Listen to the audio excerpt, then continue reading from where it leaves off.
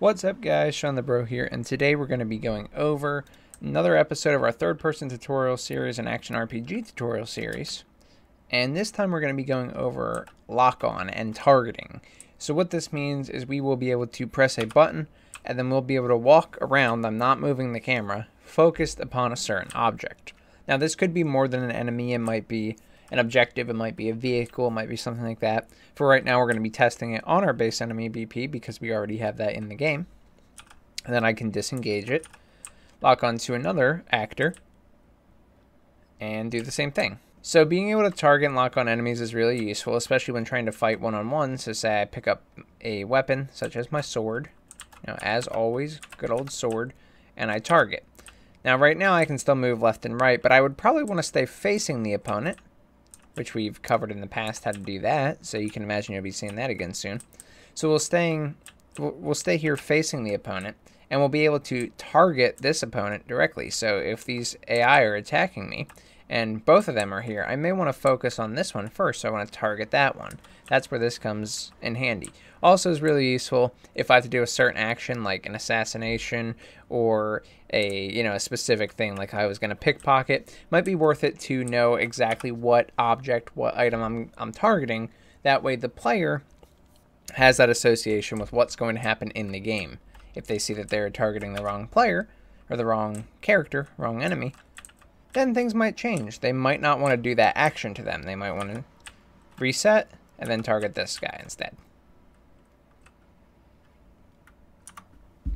So that's what we're going to be covering today.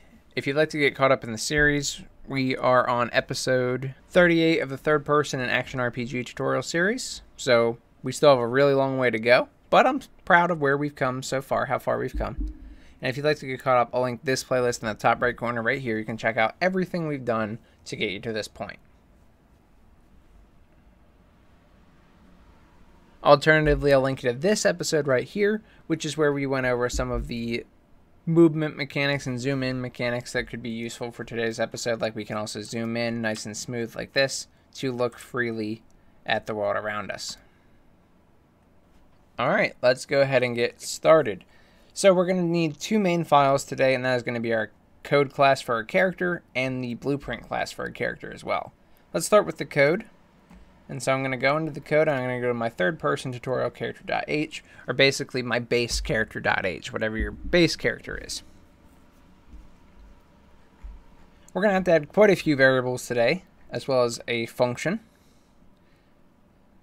So starting with the function, I added a new function called toggle lock on. So it's void toggle lock on. And what this does is this is going to be us manually pressing the button. So we're going to press the lock on button, right? We have to set up a button that we can press, and that's our lock on button. Once we press that button, we want to start the lock on functionality. If we press it again, we want to toggle it off. We want to stop the lock on functionality. So that's what this function is going to do. So we need a function for that so we can bind it to the input action that we're going to set up in the project settings.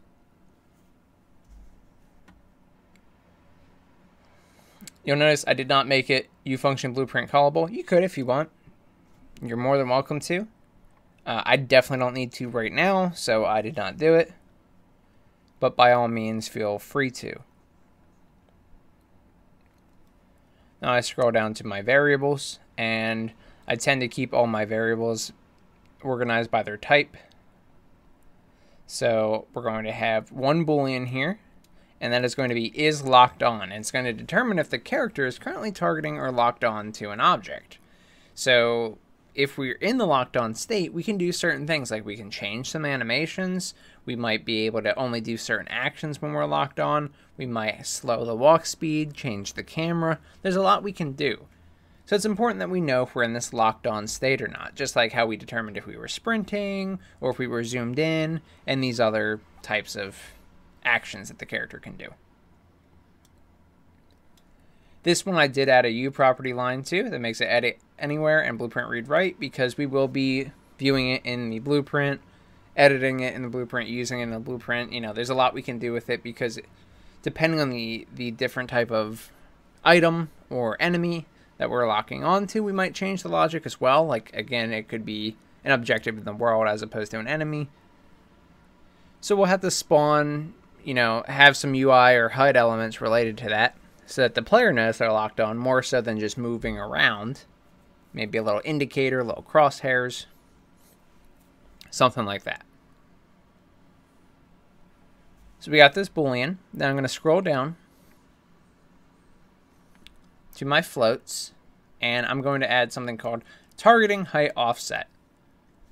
Now this is a really small thing, but this is something I want to do because this gives us more freedom over where our camera is going to be when we're going into the target and lock on mode. That can be really important because for me, the standard targeting uh, height was a little too low. I didn't like where it was initially, so when I was targeting, it looked like the character was taking up most of the screen. I didn't really enjoy it. We're going to lerp in the future, just like our zoom says how this is a nice like over-the-shoulder effect. Right now, the lock-on is instant, so when we lock on, we immediately go here. And so, if I don't like where it's positioned, I may want to raise it a little bit so my character is not directly in the middle of the, the screen, blocking the opponent that I'm locked onto that sort of behavior. So I added a little modifier, little uh, offset for that. It's not required that you do this, but I think it will make your targeting and lock on a little bit nicer, especially if you have if you do have multiple characters of different sizes. So you have a taller character, or you allow the players to customize their own characters and they can change the height, then the target might be a little bit weird for bigger characters or a little bit weird for smaller characters. So having this customizable isn't a bad idea anyway. I didn't make this a U property or anything because I'm just using this in the code today. So you can take note of that.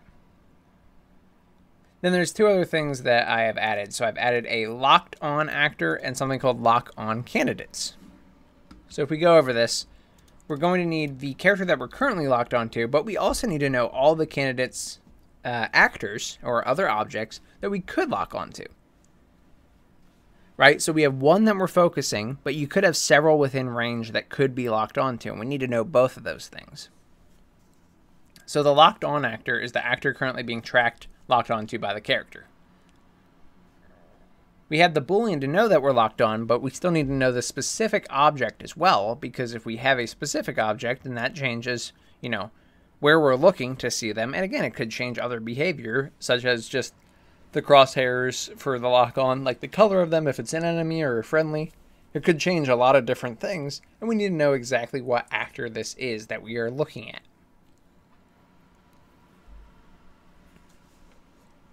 So I've made it an A actor pointer pointing to the actor.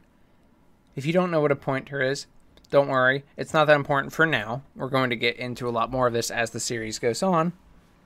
This is a good way to keep track of an actor without keeping an entire reference to it. So as these other actors get bigger, say the enemy, might have a lot of logic in him. So instead of storing an entire enemy's worth of data in our third person tutorial character, we could just point to this object and grab the relevant data from there. Okay, and again, I made this U property. This is probably a good one to keep U property because we will be able to see the locked on actor when we're in the blueprint. So we're definitely going to want to do that. Now lastly, I have the lock on candidates, which these are the actors within lock on range with the potential to be targeted, enemies, objectives, etc.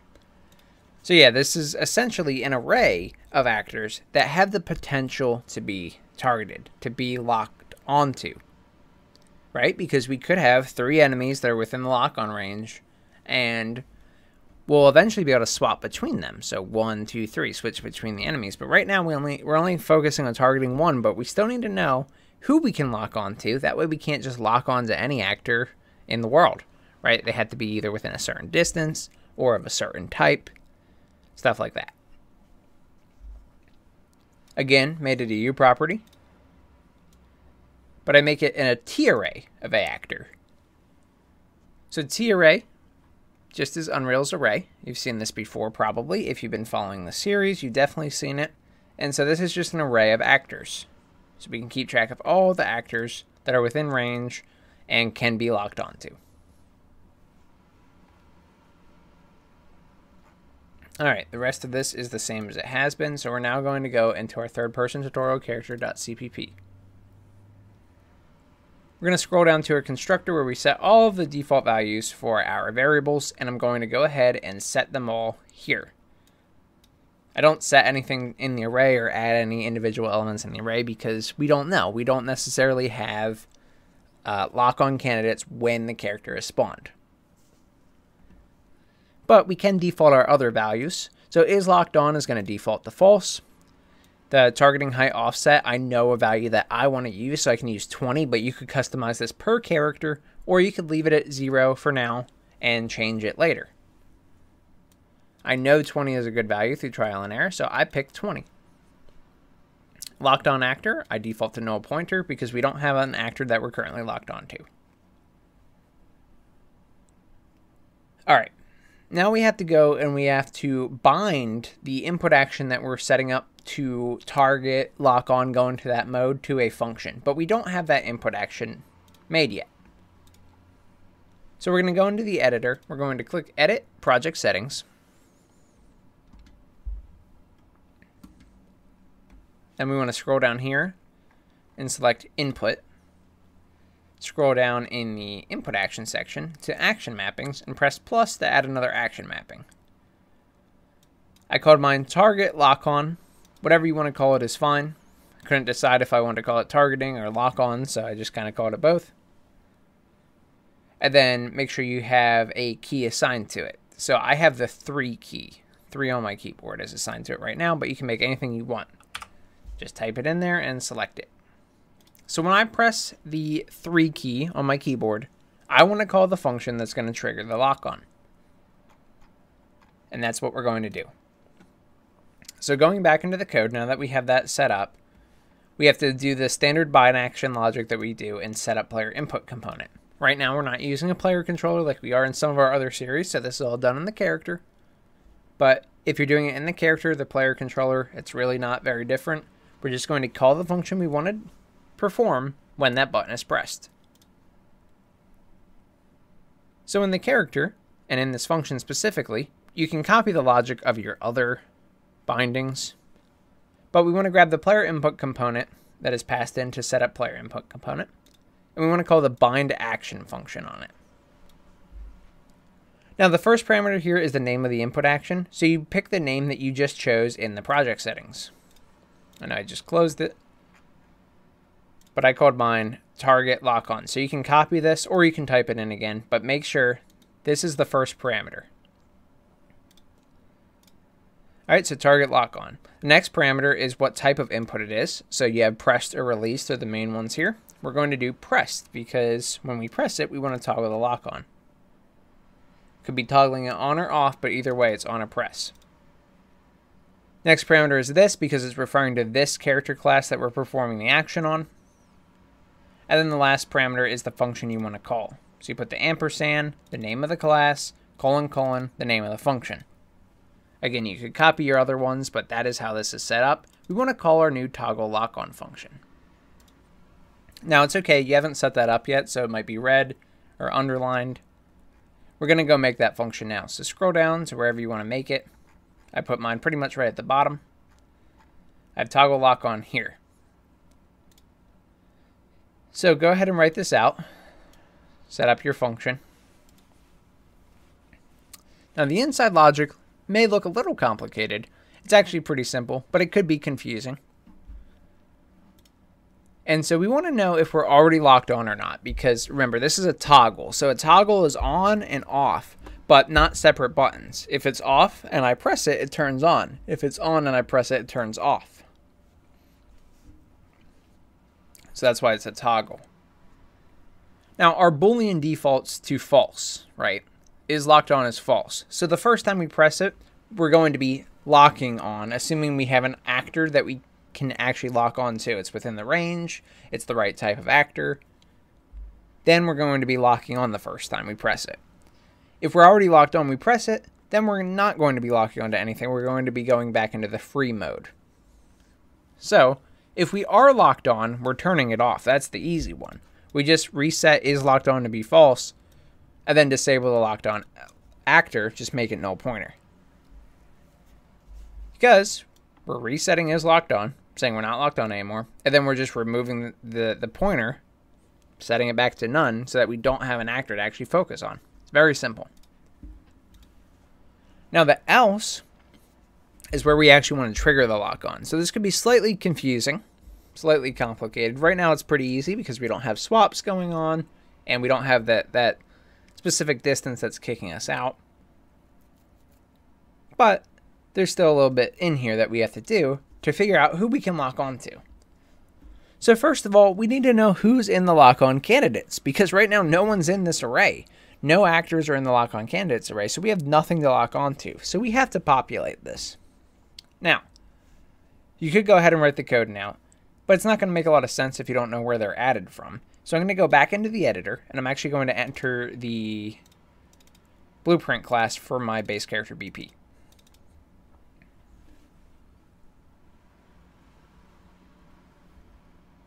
So I load up base character BP and I can go to my viewport. Now everything in here has stayed the same except for one collision box that I've added. So you can click add, search for box collision. And this is what I've added. You could also add something like a sphere collision or a capsule collision. There's actually already the capsule uh, capsule collision component on the character, so you won't want to do that. But you have the sphere collision right here. You could also use the box collision. I think works well for now because uh, we do want to add, you know, we want to be able to target enemies above, below, at our sides, wherever. You can choose the range, but I've added a box collision. Uh, when you add it, you can just be on the base character BP self here. You don't have to be on an individual component. If you do, it might kind of throw some things off because it could place it in the wrong spot. It could place it as a child of another object. So I'd recommend doing it right from the top in the hierarchy. It'll just be called box. if you don't have another box collision here, it'll literally just be called box. You can rename it. I called it target collision box instead. Right click, rename if you want to change it. Now, most of the, the settings in this box collision can stay the same. So I changed it from these were all scales of one. So is this tiny? Well, how's that going to help me? Who am I going to lock onto with that, right? So from here, I just changed the scales to values that I liked. So I said 15 this way seems pretty good. You could potentially do something like this instead. That way they have to be in front of you to lock onto them, not just anywhere around you. However, because we're not facing the, the character toward the enemy at all times while we're targeting, you may not want to do that just yet. Regardless, you can pick a size. I picked 15, 15, because I thought that was a pretty good range to lock onto opponents from. And 10 to give them a little bit of height as well. Because you notice while I was on the stairs, I could lock onto the enemies below me, right? So if I'm here, I can actually lock on to these enemies. Perfect. So we have this collision box. Now, I'm going to scroll down and go to my collision settings as well. So under collision, you have collision presets, and this is going to default to overlap all dynamic or overlap all. Could depend on the version of Unreal that you have. Now, I made mine custom because right now I only want to care about the characters. I will be including caring about, again, vehicles, friendlies potentially, and other objects and objectives. However, right now, if you leave everything on overlap all, and we can do that. We have some overlap events that are going to pick up all the, the cubes in our world because the way they were handled. Now don't worry, we will update and fix that, but we don't have to do that right now. We don't have to worry about all that right now. That is just because everything is overlap all. There's a good chance that we don't have to include all these anyway. We may want to overlap pawns and like maybe one other world, static world dynamic, or we could just make a different collision preset entirely, a collision channel entirely, and then we wouldn't have to worry about that. So we'll we'll fix that. We'll make it so you don't have to just use pawns. However, for now, I'd recommend just changing it to custom, selecting ignore all, but then allowing pawn to be overlap. That way we can still overlap with our enemies, but nothing else. Lastly, on the collision box, you can scroll down to the events and add the on component begin overlap and on component end overlap. You click the little plus and it will make the events in the graph for you. So you have these two nodes after you've clicked plus on both. And once you make the begin overlap, by the way, you will have to go and click on the collision box again and get the end overlap. Okay, so once you have both of these in here, we can fill out the logic that we want to happen. The logic we want to happen is very simple. We just want to add the possible actors to the candidate list. Okay? So yes, we allowed only pawns to be added to the, the character list. So you could add them directly to the lock-on candidates.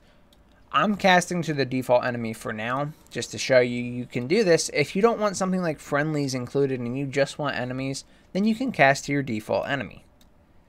However, it's actually not that complicated. Like I said, you could, if you don't care and you want to be able to target anything, friends and enemies, then you could delete the cast entirely. We're only allowing pawns right now to be overlapped with. And you could just do this logic. Okay, so either method is fine. They're both they're both the same method either way. It's just if you want to filter the different classes that you can lock onto. We'll do more of this when we go over swapping, so don't worry about it too much. Here's what we need to do though. We definitely need to grab our lock on candidates array. This is the one we made in code. Now we want to add or add unique the component we overlapped with, the actor we overlapped with. Now, you could do regular add. The problem is if you get the same actor in here and add it to the array and it does not get removed from the array properly, which could happen for a few reasons, could happen due to collision changes, uh, like the presets change and they now ignore the overlap, could happen because they teleport out, so even though they don't really they end the overlap it could actually skip the end overlap event because they didn't just walk out of it so add is a little risky. It's easier to just add unique. You could get it to work with add but it's like why do it right? If we could have add unique and this will make sure if the element is already in this array we don't add it again. This doesn't mean you couldn't have multiple of the same actor type so we can have two of the enemy base enemy bps but we just can't have two of the exact same. We can't add the same enemy twice, but we could have two pumpkin golems, for example. Okay, so just add unique and pass in other actor. The actor that we begin overlapping with is the actor we want to add. They are now within the range that we've provided to be able to lock onto them. End overlap is essentially the same, except once they leave that range to be able to lock onto them, they are no longer a lock on candidate. So we get lock on candidate one more time. Okay, and then we remove. And I chose remove item, not index, but remove the item. And I just pass the other actor directly into it. So if it finds that actor in there, it will remove it. I recommend leaving the other actor as a cast for now. Simply because if you do not do this, then you can pick up on other actors in your world if you have them for any reason. Now, I use this tutorial series for a few things. I use it for some of the one-off episodes I do as well. And so I may add things from time to time that I might lock onto if I do this, and it could make things a little confusing. So I'm going to leave it for now we can go ahead and go back into the code and figure out what happens when we try to initiate a lock on. So this is where we left off. So we were in the else and toggle lock on, and this is if we're trying to lock on to somebody. So now we have to know who we can lock on to. So within the else, I have if lock on candidates dot num is greater than zero. Dot num returns the actual number of elements in the array, not an index. So if there is zero, if lock on candidates that num returns zero, there are no elements in the array. There is no one to lock on to. We want to skip all this logic. We don't want to do anything. If it's greater than zero, there's at least one candidate we can lock onto. So with that said, right now we don't have swapping enabled. It's actually pretty simple to set up, just not covering it today. So we want to set our locked on actor to the default value. And for me, that is index zero of lock on candidates because all we're checking to see if it if it is greater than if there is greater than zero candidates available. So we know there's at least one, which would be index 0 of the lock on candidates array. So we can set our locked on actor to lock on candidates 0, defaulted to that. Then, if there is a locked on actor after this, okay, after this actually goes through, we want to set is locked on to true. Now, you could skip this extra if check because this is almost definitely going to be valid. However, in case anything goes wrong with lock on candidates here and locked on actor here, then locked on actor could be false and is locked on would be true, and then it would try to lock on and you wouldn't be able to. Now, it would have to happen on a different thread at this specific time, but it doesn't really hurt to check. So feel free to do this check or leave it out if you want. You probably won't see any issues with it, but I was just being on the safe side, making sure that this was a valid actor. This did get assigned to something other than null pointer, and once it does, we can say that we are officially locked on. Now I'm going to scroll down to my tick function, which is right below it.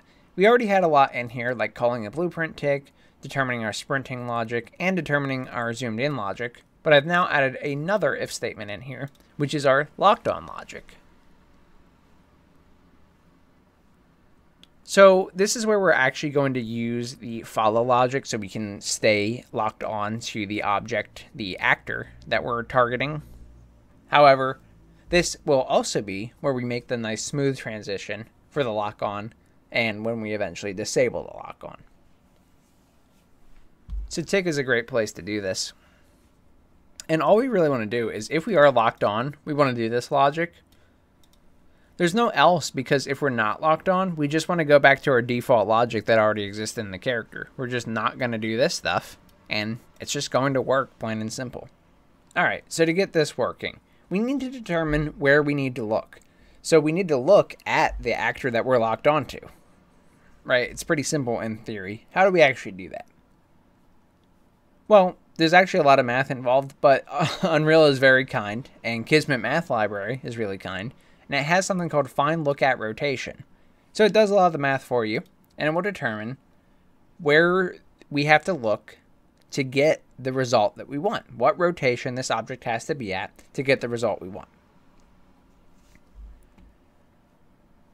So we're going to make a variable that's an f rotator, and I call it look at rotation. And then we're going to set it equal to this line. However, you won't be able to use uKismet Math Library because we have to include it. It's not included by default. So if you scroll up to the top of the file, add this include, you can add it to the very bottom. Pound include kismet slash kismetmathlibrary.h.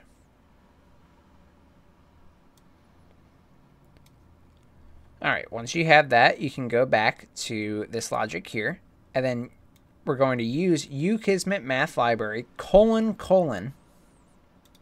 Okay, this is a static class.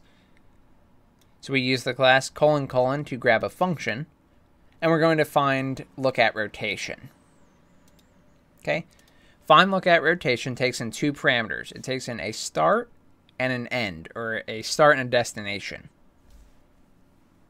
we're starting wherever our actor is located. Okay? And we're ending wherever the locked on actor is located. So we pass in get actor location and then locked on actor, get actor location. Very simple in theory.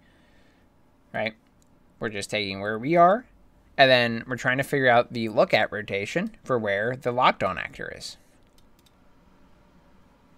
Now, that actually gets us the proper look at rotation. But what I'm going to do next is going to improve the, the camera visibility and the targeting visibility a little bit, in my honest opinion. So we're going to use our targeting height offset that we set up. That's that float we set up in the .h file. And we're going to change the pitch because I always find it's a little too low. No matter how many times I do this, I always find it's a little lower than I want. If you like it without, again, perfectly fine. But I always feel it's a little low. So I take my look at rotation, dot pitch, I do minus equal, and then I take my targeting height offset, and that raises it a little bit.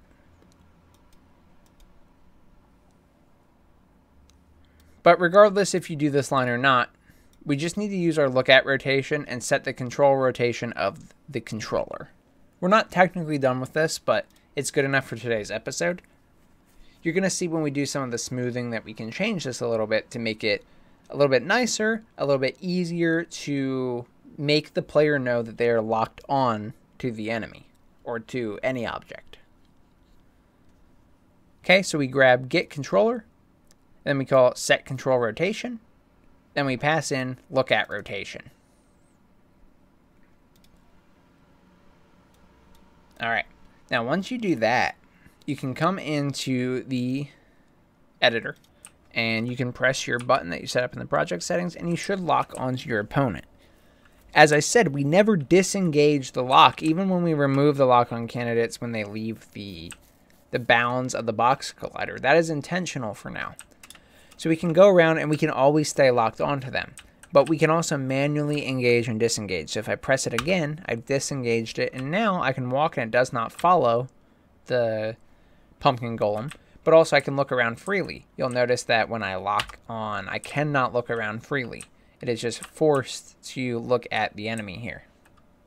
Alright guys, but that's all I got for you, so thank you so much for watching. If you enjoyed it and I helped you learn about how to lock on to different enemies and objects in your world, then please subscribe. It does more for myself and the channel than anything else you can do, and I just really appreciate it.